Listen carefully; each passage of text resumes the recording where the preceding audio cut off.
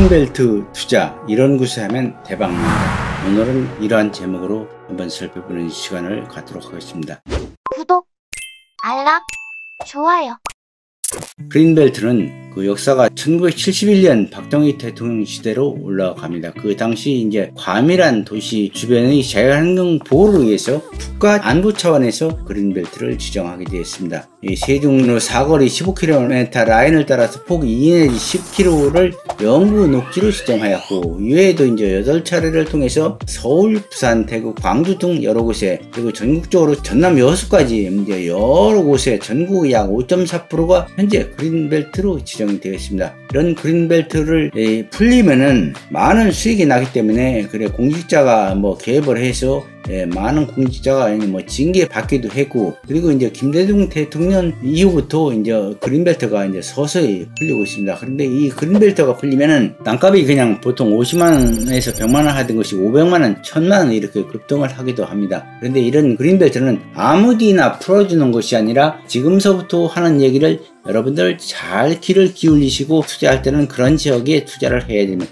그린벨트에서 해제가 될 곳은 이미 시가화가 되어서 추락이나 밭이나 창고 등으로 훼손된 지역이고 그리고 뭐 그야말로 나무가 울창한 이면은 해제가 안 됩니다. 만일 해제하는 경우는 정부에서 공공용으로다가 보금자리 주택이라든가 이런 것을 빌미로 또는 체육시설을 빌미로 해제하는 경우가 있는데 이런 때는 수용을 해버리고 해제를 하기 때문에 그렇게 투자 수익이 많지 않습니다. 그리고 서울 인근 지역에 지금 많은 그린벨트 지역이 있는데 과천이나 하남이나 의왕, 의왕시 이런 곳은 앞으로도 이제 해제가 될 거예요. 제가 1990년도에 어, 이제 그린벨트 해제될 지역을 그때 당시 이제 주구했던 지역이 있는데 여기도 이제 나옵니다. 이, 이 지역이 해제 예상되는 당시에 이제 그때 썼던 지역에 거의 다 해제가 됐어요. 강남 세구 2지구, 서초면 3지구, 강동 강일 3지구, 시흥 매화지구, 월곶 옛 염전터, 의왕, 청계, 우둔, 하기동 일대 과천, 고향 등뭐 이런 이 대부분이 지금 보면은 아파트가 들어서 있습니다. 그래서 그린벨트 해대 지역은 이 300가구 이상 인구 1000명 정도로 이미 개발이 된 곳이나 비닐하우스나 도로 등으로 이제 되어 있어서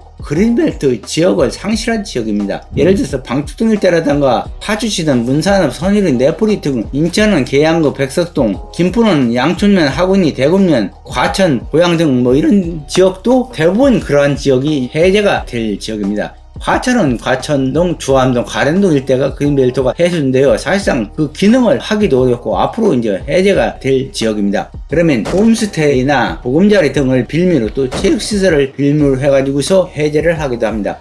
그린벨트가 이제 해제가 되면은 이주권이 발생하는데 만일 그린벨트 지정 전에 이미 가두고 집을 짓고 있었던 지역이라면 이주권이 주어집니다. 그러면 이주권은 서울 경우에 뭐 10억에서 12억을 보통 이렇게 합니다. 지금 많이 풀렸습니다. 많이 풀리고 앞으로 해제될 곳이 많이 있습니다. 자, 그러면 그러한 기준을 보도록 하겠습니다. 해제가 가능한 지역은 환경평가 결과 3 내지 5등급지로 보존 가치가 낮은 20만 평방킬로미터 이상 면적, 산지 표 표고가 70m 이하죠. 그전에는 표가 170m였습니다. 170m였는데 지금은 70m입니다. 그래서 예, 이렇게 높은 산 가끔 이제 제가 이제 1대1 질문이나 지식인 질문을 통해서 가끔 산 꼭대기 그야말로 뭐 헬기가 뜨고 하는 표고가 절이 있고 하는 200m, 300m 되는 지역에 어, 앞으로 개발이 되고 그린벨트가 풀린다고 이것을 사도 되느냐 이렇게 묻는 분들이 있습니다. 안 됩니다. 예전에는 표고가 제척이 170m였었는데 지금은 70m 미만입니다. 그래서 이런 것은 절대로 안 되고 그리고 지역적으로 선정 기준 포함된 지역 환경 훼손이 수반 지역이 도시간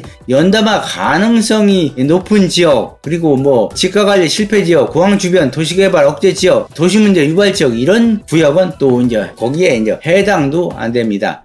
자, 그리고 제가 옛날에 썼던 글인데, 그린벨트 상당히 해제 요건이 까다롭다. 우선 이 해제가 가능한 지역은 네 가지인데, 첫째, 집단 추락 지역이 이미 된 지역, 이미 집이 다 들어서서 집들이 잔뜩 마을이 생긴 지역, 그리고 보존 가치가 낮은 지역, 즉 이미 주택, 공장이 들어서 보존 가치가 전혀 없고 나무가 없는 이런 지역을 말합니다. 그리고 국책 사업으로 산업 단지나 보금자리 주택 등이 들어서는 경우에 이제 해제가 됩니다. 근데 이거는 이제 정부에서 의도적으로 하기 때문에 그것은 일단 1, 2번은 상당히 중요합니다. 그리고 지자체에서 공익 목적으로 도로 등을 필요한 경우나 또 체육시설이나 보금자리 주택 등 시설을 위해서 해제할 때 가능하고 그런데 여기서 산지는 예전에는 제척이 위에서 말씀드렸는데 170m였습니다. 지금은 제척이 70m입니다. 그러니까 높은 산 지역을 개발한다고 해제한다고 이렇게 기획부동산에서 해가지고서 여러 사람들이 저한테 질문하는 것을 제가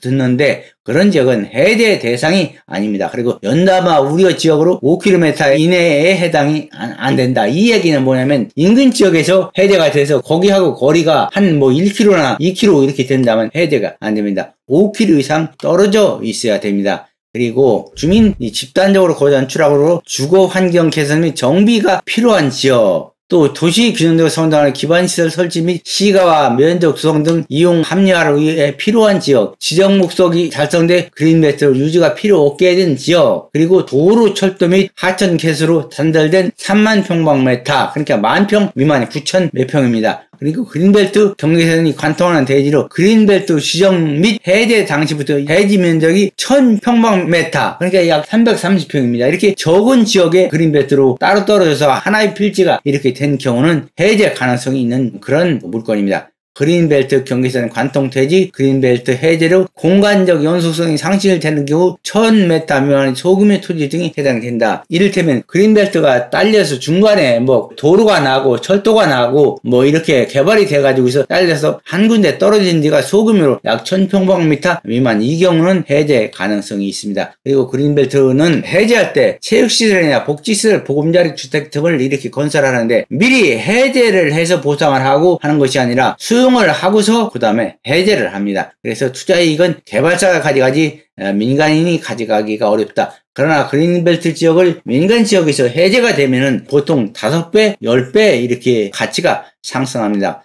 그리고 수용시는 통상 이제 공시지가보다는 조금 높지만은 어 시세에 따르지 못합니다. 그래서 그린벨트 지역을 가지고 있다 해제 다음엔 그렇게 뭐 떼부자가 되는 것은 아니고 이게 오래 가지고 있던 사람은 괜찮지만 최근에 산 사람들은 오히려 이제 실거래가에 미치지 못했기 때문에 손해를 보는 경우도 있습니다.